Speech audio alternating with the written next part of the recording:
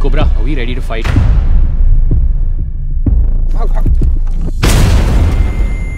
Oh my god, I was late!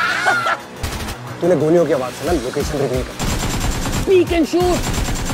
अरे वो लोग डक करके भाग रहे थे आप यहाँ?